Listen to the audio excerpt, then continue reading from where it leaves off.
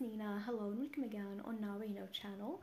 And in today's video, we're gonna talk about how to put someone else's post on your Instagram story. So let's get started.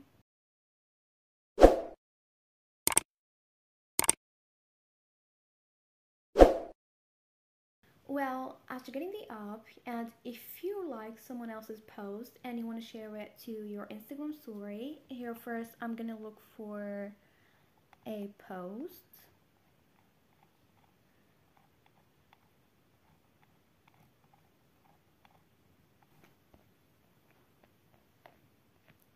And let's say, for example, I want to share this post on my Instagram story. So now what we're going to do, we're going to tap on the share button next to the comment button. And as you see here at the bottom, a list of options will appear. So we got the share icon, copy link, and add to story. So tap on add to story.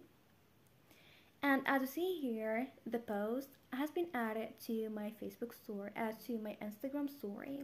Now, I just wanted to be reminded that if the add to your story icon is not there, well, it might be because the owner of this post doesn't allow everyone to share his post. So here, the thing that you can do is to take a screenshot and then you can just uh, share it on your Instagram story. So now here you can add uh, music if you want to. You can add effects, stickers, tags, and so on and so forth. And then you can just tap on the uh, little arrow at the bottom right corner to share it to your Instagram story.